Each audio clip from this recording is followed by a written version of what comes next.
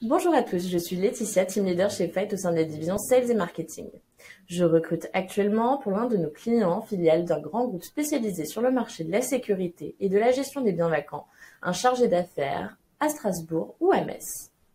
Pour ce poste, vous serez en charge du développement commercial auprès de la clientèle en lien avec les activités des métiers de la sécurisation et de l'établissement d'un plan de prospection.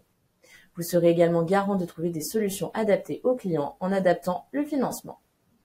Pour ce poste, nous recherchons des profils avec au moins trois ans d'expérience sur un poste de commercial et idéalement avec une connaissance du secteur BTP. Alors si vous vous reconnaissez au travers de cette annonce, n'hésitez pas à postuler.